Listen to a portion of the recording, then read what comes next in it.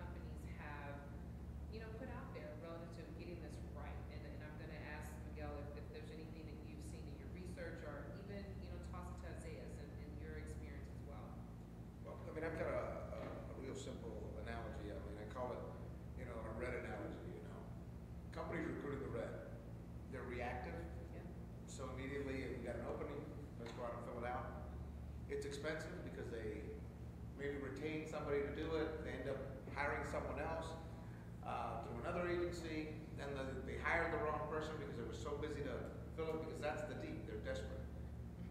The time they start to recruit is the moment that job is, is open. So, so when they recruit it, it's, it's, it's totally on the wrong side, and I call it the red. And, you know, as, as, as fun as I call it, you know, recruiting needs to be fun.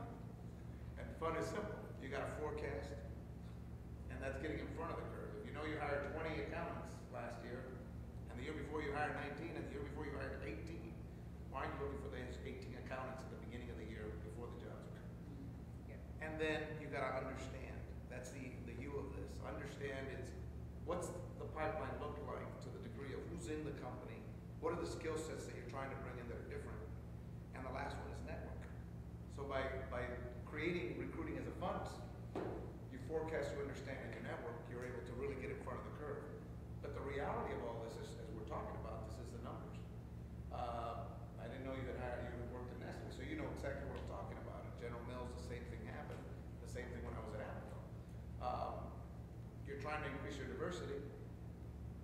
Here's, uh, here's, uh, the campuses that you're going to. Now, you're only looking for the top third already. Now, from that top third, now you say, who, who are gonna fit my specs? Who wants to move to Minneapolis? Who's still Hispanic?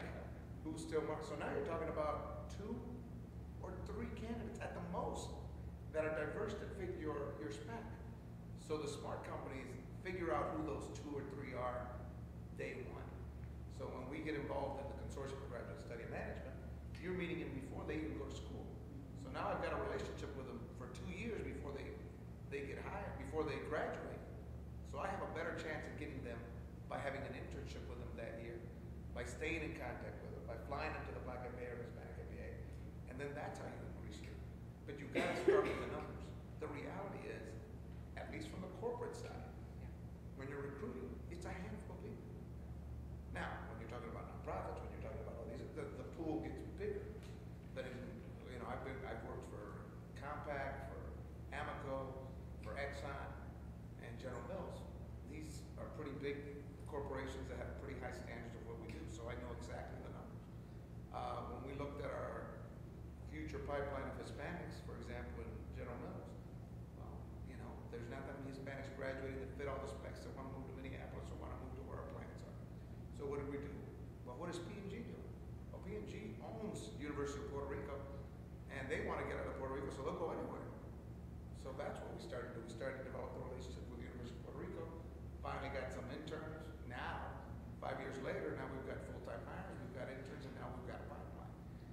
excuse can't be they're not there. What's the strategy